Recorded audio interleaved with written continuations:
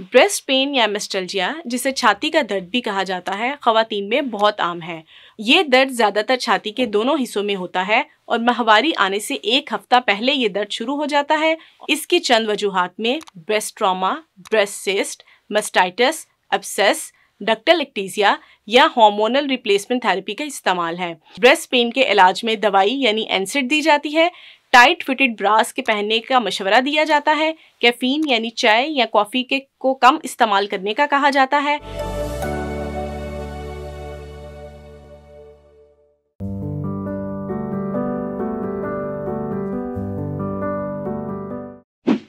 वालेकुम मेरा नाम डॉक्टर अक्सा अमीन है और मैं एक मेडिकल ऑफिसर हूँ।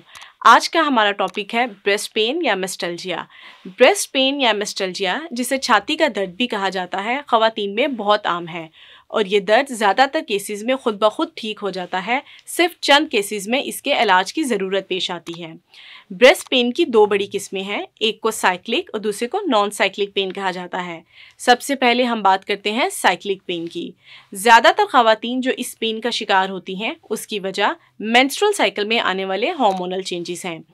ये दर्द ज़्यादातर छाती के दोनों हिस्सों में होता है और माहवारी आने से एक हफ़्ता पहले ये दर्द शुरू हो जाता है और माहवारी ख़त्म होने के बाद ये दर्द खुद ब खुद ख़त्म हो जाता है। इसकी तशखीस, हिस्ट्री और एग्जामिनेशन की बुनियाद पर की जाती है। इसके अलावा मज़ीद किसी टेस्ट की ज़रूरत पेश नहीं आती।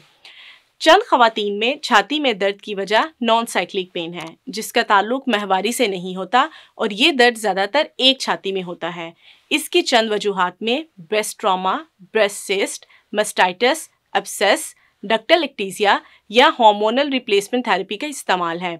इसकी तशखीस के लिए 30 से कम उम्र खातन में अल्ट्रासाउंड 30 से 40 साल की उम्र की खातन में मेमोग्राफी, जबकि 40 साल से बड़ी खातन में इनमें से कोई भी टेस्ट करवाया जा सकता है। अगर ये टेस्ट नॉर्मल हो या मरीज़ में छाती का दर्द माहवारी की वजह से हो तो मरीज़ को तसल्ली दी जाती है कि ये दर्द किसी मोहलिक बीमारी की वजह से नहीं है और 80 परसेंट केसेस में मरीज़ इसी अश्योरेंस से बेहतर हो जाता है। इसके अलावा ब्रेस्ट पेन के इलाज में दवाई यानी एनसिड दी जाती है टाइट फिटेड ब्रास के पहनने का मशवरा दिया जाता है।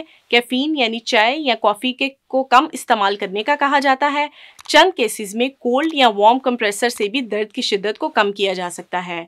अगर इस दर्द की वजह हार्मोनल थेरेपी है तो उसे बंद किया जाता है और बाकी तमाम अंडरलिंग वजूहत को उनके मुताबिक ठीक किया जाता है। ये था हमारा आज का टॉपिक इससे मुतलिक मज़ीद मालूम के लिए आप तिब्बी के प्लेटफॉर्म से रबता कर सकते हैं। शुक्रिया।